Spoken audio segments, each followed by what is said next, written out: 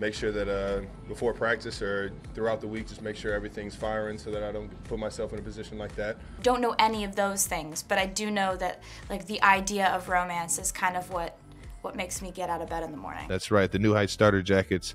Uh, we're giving them out to a few lucky uh, 92 percenters. out right now. Touchdown to Kelce.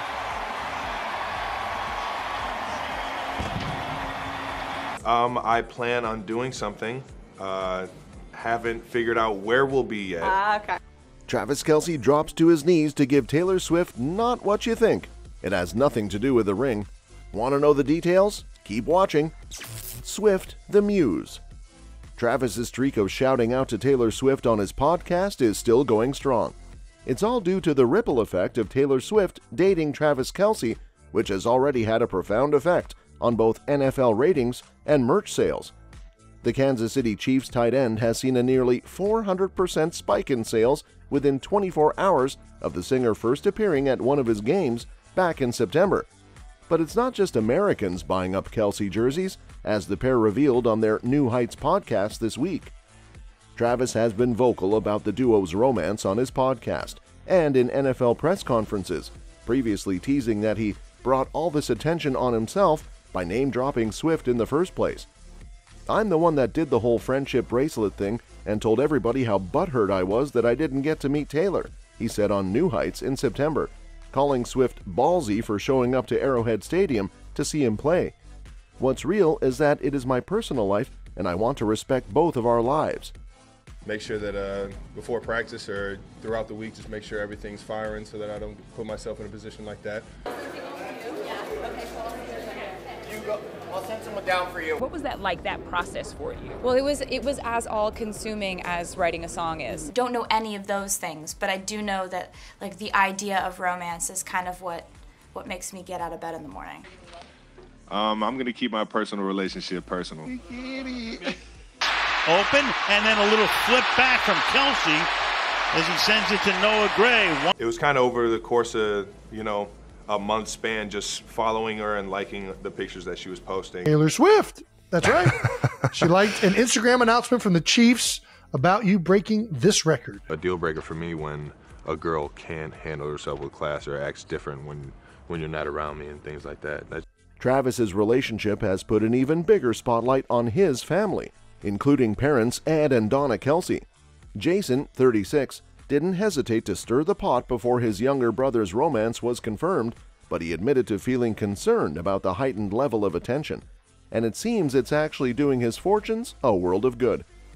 Well, in other new news, we are the number one and number two top selling jerseys in the United Kingdom, Jason Kelce remarked in the December 13 episode. Yeah, Trav, you got the number one best selling jersey. Good to know we're still number one in something these days, and followed by me at number two, he continued, joking about both the Chiefs and Philadelphia Eagles' recent turn of bad luck. This is crazy. It's Travis, then me, then Pat Mahomes and Jalen Hurts. Doesn't make any sense at all. Yeah, I don't know. Either way, I'll take it, Travis admitted. Lot of Swifties over there in the UK? Jason followed up with, to which Travis responded, There's gotta be. Only reasonable solution to all of this. And I think I'm only number two because I think a lot of people in the UK maybe just don't watch football and they're like, oh, I heard this Kelce guy dates Taylor Swift and buy my jersey by accident, Jason joked, of his own baffling spike in UK based sales. Uh, they The are Kelce- up the- the Kelce jerseys? 400%. 400%? Jesus. That's right. The New Heights starter jackets. Uh, we're giving them out to a few lucky uh, 92 percenters. All right now. Kennan in motion. There's Kelce. There's a touchdown, Kansas City. The starter jackets will ship in January, and again, these are limited amounts. So if you Wow.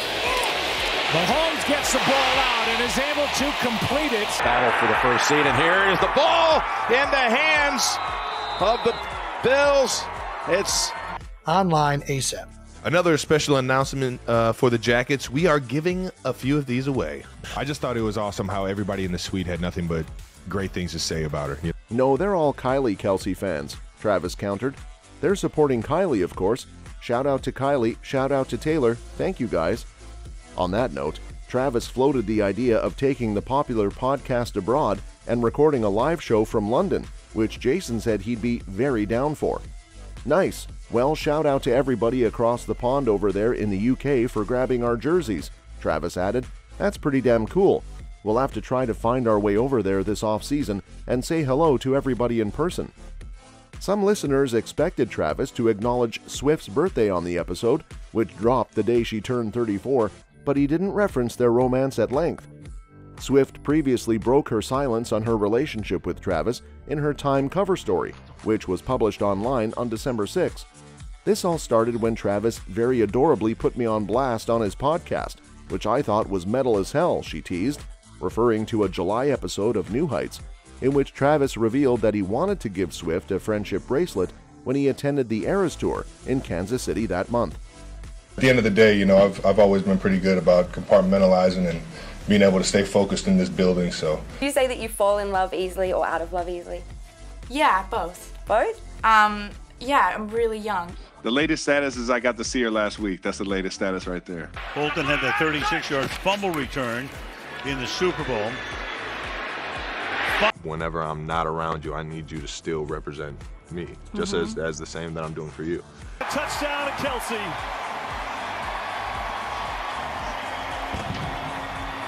the entire collage. You know what I mean? I didn't Mm-hmm. just go through every single pick and just started liking it immediately. Thanks, Tay. I appreciate you. Um, on the uh, Chiefs Chiefs page, Porden. Long gain again, run out by Justin Simmons. It is just astonishing. I heard that you Instagram stalked her and then she DM'd you. That's exactly what Very happened. Very strategic. Yeah. it is what it is, man. I was out there flying around. I uh, wish I could help, could have helped my team out a little bit more than I did, but While the twosome didn't meet at the concert, Travis was famously butthurt about the missed connection. Swift told Time that they started hanging out right after the podcast shoutout. We actually had a significant amount of time that no one knew, which I'm grateful for because we got to get to know each other, she continued. Swift was spotted at her first Kansas City Chiefs game in September, but she clarified that she and Travis were already a couple by then. I think some people think that they saw our first date at that game. We would never be psychotic enough to hard launch a first date, she added. The pair's relationship has been a hot topic for sports fans and Swifties alike over the past three months, as Swift has made appearances at both home and away Chiefs games. Travis, meanwhile, flew to Argentina in November to support Swift on the international leg of the Eras Tour. When you say a relationship is public, that means I'm going to see him do what he loves. We're showing up for each other. Other people are there and we don't care, Swift told the magazine. The opposite of that is you have to go to an extreme amount of effort to make sure no one knows that you're seeing someone, and we're just proud of each other. What do experts think? So is Travis's adulation well placed, or is it just hero worship? That could be the real deal, as a body language expert weighed in on Taylor Swift's presence at Travis Kelce's recent game, and her revelations have left us all stumped. It means that Taylor's presence at Travis's games might be helping his team win. This expert recently made interesting remarks about Taylor Swift's persona during Travis Kelce's recent game. On Sunday night, the 33 year old singer showed up to a match against Kansas City Chiefs and Buffalo Bills. She cheered on her beau wearing a leather miniskirt paired with red and black Chiefs jumper and completed the look with knee high leather boots. Speaking with the Mirror, the expert named Judy James said that Taylor was so fiercely supportive of Travis that it could intimidate the opposing team. with it, you got a lot of people that care about Taylor, and uh, for good reason. Ed raising those boys. Here's Pacheco able to bounce. First big play of the night.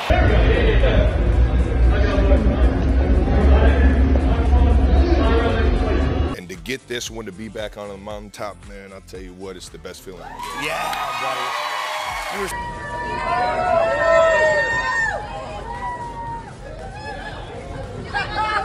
With the uh, paparazzi just taking photos from uh, from all over the place, but at the same time, it's uh, you know it comes with it. It- Couldn't have happened to a better dude, man. Oh, this is a dream come true, Jimmy. This is sweet. Come on, but I kidding me? I'm what? Um, I plan on doing something. Uh, haven't figured out where we'll be yet. Ah, okay. Taylor's strutting walk with its long strides and her hands stuffed into the pockets of her coat that flaps over her shoulders like a cape create a dramatic and rather regal entrance here, suggesting she is going to be a fiercely supportive fan of her guy Travis, she said. She added that the lover crooner's power walk and straight glances towards the Buffaloes are victorious looking gestures. However, Taylor's alleged tactics failed to work as the Chiefs lost by 20 to 17. Mistaken knee. Speaking of taking a knee, it's not the first time Kelce has taken a knee. Amidst rumors of Taylor Swift and Travis Kelce dating, an old photo of the latter is now going viral and not for the right reasons. In the photo, the football tight end is seen taking a knee during a game. As per SB Nation, the game was held between his team Kansas City Chiefs and the Los Angeles Chargers way back in September 2017. The reason behind taking a knee, which is considered a mark of protest against racism, violence, unfair treatment, and the like.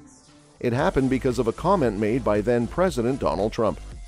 You see, as soon as rumors of Taylor Swift and Travis Kelce being engaged in a romantic relationship came forth, social media users started digging into Kelce's past actions.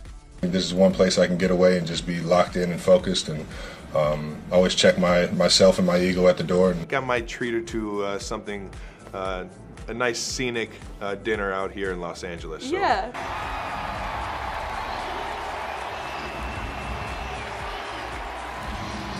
I had flowers, specifically her favorite flowers, waiting for us at dinner. Show me that love is one. Love is the great unknown. Mm-hmm. It's like, and that's why I write songs about it. What was it like going back and revisiting that era and doing it all over again? It was an amazing experience, and